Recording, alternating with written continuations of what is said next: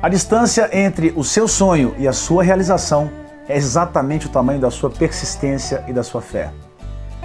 Você vai ter muito mais motivos para desistir do que para seguir em frente. A minha trajetória musical vocês conhecem. Eu quero agora falar sobre o que os palcos não contam. Você conhece sobre o seu lado emocional? Você consegue efetivar mudanças na sua vida? Você consegue alcançar metas e objetivos determinados?